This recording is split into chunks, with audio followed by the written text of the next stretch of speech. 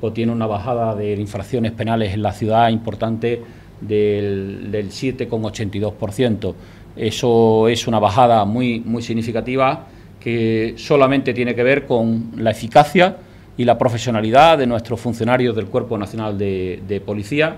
Hay que decir que estamos en la tasa de, de, criminalidad más baja de la historia. En Cádiz Capital, bueno, pues darles el dato también de algunas reducciones muy importantes, como es eh, la de robos con fuerza en, en vivienda, de una bajada del 48,65% en robos con fuerza en vivienda y de robos con fuerza en establecimiento una bajada del 26,67%. También en, en, acta de posesión y consumo de droga del 13,03% eh, y eh, de lesiones el 4,35%.